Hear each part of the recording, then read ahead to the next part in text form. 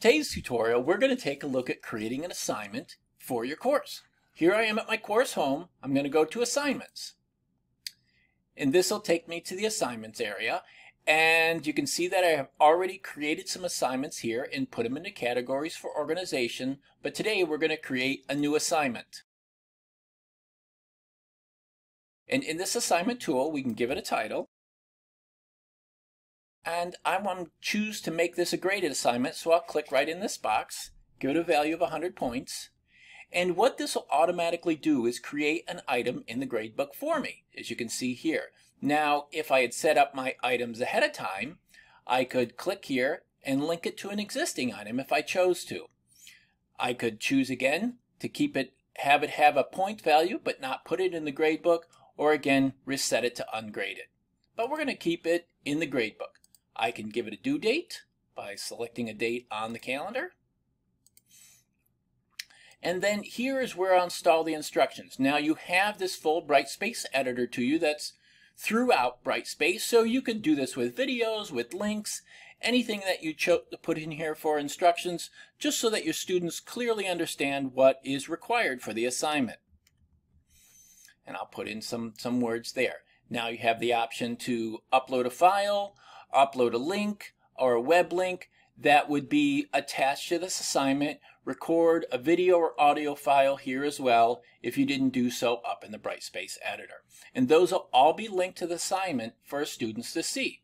Now let's check out some other possibilities or adjustments that you can be made with the assignment. Availability, dates, and conditions. Now, if you don't do anything in these items, the students will be able to see and interact with it as soon as you make this assignment visible down here. You know, the magic eye that you see throughout the course. If you wanted students to see that this assignment was upcoming, but perhaps not interact with it, you could um, add some dates here. So they wouldn't be able to submit anything until that start date was available, and then they wouldn't be able to submit anything after this end date be, um, became to pass. Okay. Again, you have the ability to set up release conditions in here, which those same release conditions for an assignment that exists with so many other um, opportunities in Brightspace. So this assignment would not become available to students until they did some other task, perhaps uh, click on a various piece of content or watch a video or some other access um, point in the course or you could set up special access. Perhaps you only wanted to make this um, particular assignment available to a few students, students in a particular group or whatever. That's what you could set up here.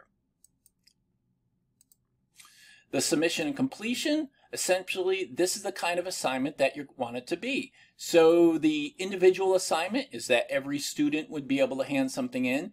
A group assignment essentially would mean that you would set up some groups in the group tool, and then once one member of that group submitted that assignment, that would be submitted for the entire group. And then when you graded that assignment, every student in that group would receive the identical grade. The submission types you have available to you are a file submission, which is pretty standard. They'd upload um, some sort of file to meet the requirements for that assignment. They could just do a text submission, which essentially they would get an editor box much like this one, and they would type in their response there. And these other two you can put in so that if a student was going to give you a hard copy or you were going to observe a presentation in person, then um, the assignment could still be listed in there, and then you could submit a grade once you'd gone over that paper submission or observe that um, file. These are pretty self-explanatory. You could um, have a student um, put in as many files as they would like for um, a particular assignment. And this can be a good idea because it will allow students to perhaps upload another file if they made a mistake in the one that they put in. And then you can decide how many submissions or of those files you're going to um, take and so forth. And then if you'd like to, this notification email would send you an email every time a student made a submission. Could result in a lot of emails, so I'd save it for special situations. Then the evaluation and feedback, you can add a rubric that you've built in the rubric tool that assists, uh, then students will be able to see that rubric as well, and you could use it for grading.